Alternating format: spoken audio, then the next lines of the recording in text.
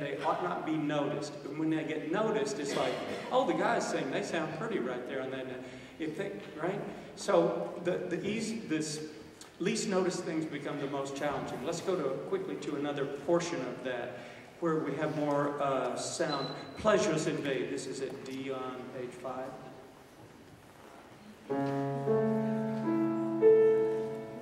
Make louder consonants.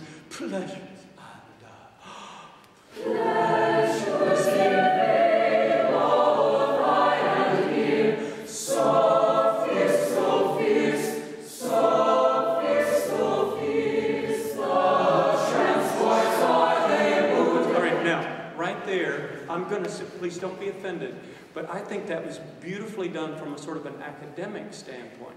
But I'm not moved by it. So I want you, I'm giving you permission to be less perfect, get out of the box, and let me see how it would sound, or show us how it would sound if you meant it, which is to say that the transports in this text means the feelings. The transports are incredibly strong feelings, those wow feelings that are just like, like that, okay? That kind of a feeling. And so the text is incredibly powerful. If we say, fees, say, fees, fees, fees, this fees. I just am not going to be able to stand it. Right? It's got to be that much love when your heart is just boom, boom.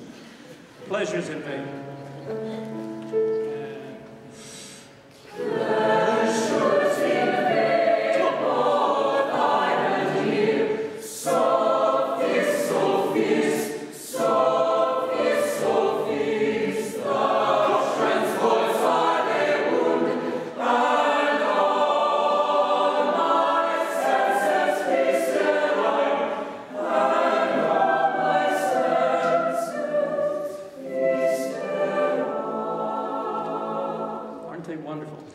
Quite good.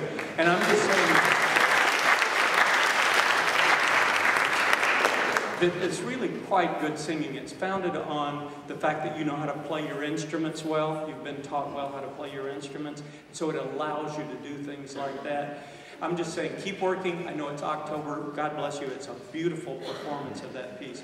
Quickly then on to uh, O Grief get those first pitches? Would you do me the favor of conducting this one more time? Would do just for a few moments.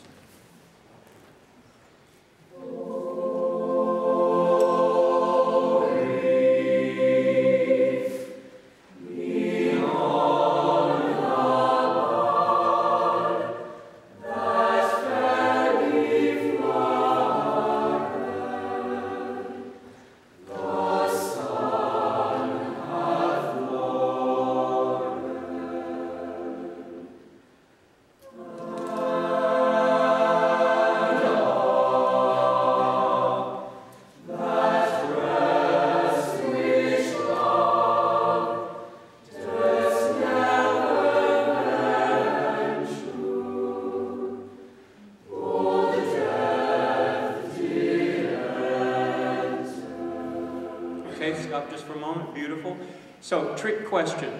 Is this in English? Is this piece in English? Trick question. Uh, but he wants us to say no because he said it was a trick question. See, so yeah, it is in English, but only sort of, right? Somebody tell me why is it only sort of in English? It's Old English, right. And so do any of us ever walk down the hall and say, Oh, grief, e'en on the bud that fairly flowered, the sun had lowered, and ah, we're having tater tots for lunch. No, and so, and this is really pretty important with pieces like this, we almost have to sing it as if it, because it is indeed in a foreign language as it relates to how it's expressing a feeling. So we have to sort of translate. The other thing we have to do is probably a slightly, I'm just going to say more formal vocal approach, being especially careful, I'm going to get to a specific thing here, diphthongs and flowed, flowed, more care to those, and the American R is creeping in.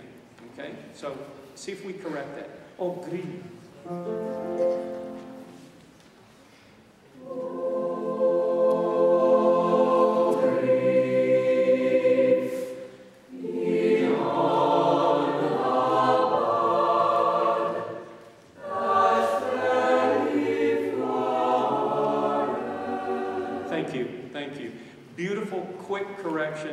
Fairly simple thing, but it's pretty important here. And then we have to work, I think, doubly hard to make sure that at least the syllables are clearly understood, and then we have a chance to get meaning. All right?